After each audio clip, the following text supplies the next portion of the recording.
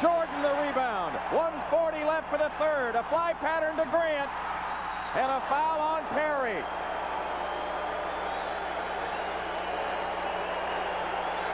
Michael with the touchdown toss here. He fires it on down. Horace Grant catches the ball, goes up with a shot and just gets creamed.